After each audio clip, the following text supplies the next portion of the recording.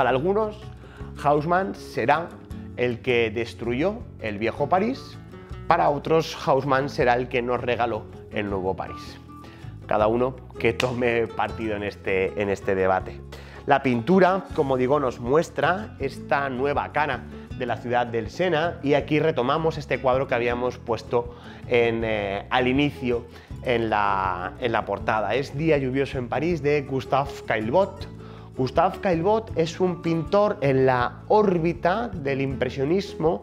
No le podíamos catalogar quizás como impresionista puro, eh, estaría entre el realismo y el impresionismo, un pintor a medio, a medio camino ¿no? entre ambas tendencias. Tenía una posición económica bastante desahogada y sí que es cierto que cumplió eh, la función un poco de, protector de muchos de estos eh, pintores impresionistas que sobre todo al inicio de, su carrera pasaron grandes penurias económicas. Fijaos, esta es una postal prototípica de este nuevo Pagui, como os decía, veis estas típicas manzanas, estos típicos bloques del siglo XIX acabados con las mansardas, como os decía al inicio de la presentación, lo veis aquí en los tejados, aguardillados, como digo, esa imagen cliché, fetiche de, de París. Vemos además cómo París es una de las primeras ciudades que también eh, se suma al carro de los avances positivos ¿no? de la modernidad por ejemplo,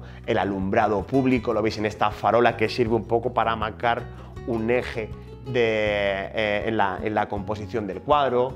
En la imagen derecha aquí vemos una tubería que baja por una pared, es una de las primeras ciudades en las que hay agua corriente, en esta época empieza a haber ya agua corriente en el interior de, de las casas. No sé si lo veis porque se ve muy desdibujada al fondo, voy a intentar acercarme, pero justamente allá al fondo de la imagen se ve una grúa, no ese proceso constante de este nuevo que no para de crecer al ritmo que marca la modernidad, al ritmo que marca el, eh, progreso de, la ciudad de París.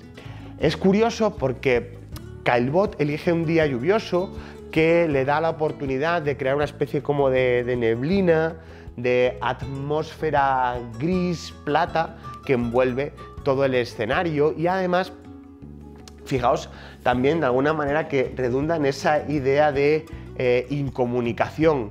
Uno de los males de las grandes ciudades es justamente eso, la, soledad eh, o ese eh, esa escasa comunicación que existe entre, entre sus habitantes. Fijaos, todos son burgueses, esa clase social dominante ahora a partir del siglo XIX Fijaos eh, que la pareja principal que viene hacia el espectador, la que marca un, poco un punto eh, de referencia, no existe ningún tipo de comunicación entre ellos y el hecho de que llueva y el hecho de que saquen los paraguas visualmente los aísla a cada uno de los personajes del resto, ¿no? creando como micromundos o microcosmos encima de cada uno de, ellos. Aún así es un cuadro maravilloso, una buena estampa de este eh, Nouveau Paris, que os digo, París no ha cambiado mucho desde 1877 que se pintó este cuadro a la actualidad. Fijaos, este es como pinta Caillebotte, este lugar de París, a finales del 19 y este es el mismo lugar de París hoy en día en la, en la actualidad. Vale, le quitamos los semáforos y le quitamos los coches, pero quitando, como digo, eh, eso veis que la estructura, el trazado urbano de la ciudad sigue siendo muy, muy similar. Os hablaba al inicio de ese fenómeno que todos, ese término que todos y todas conocéis de gentrificación. Pues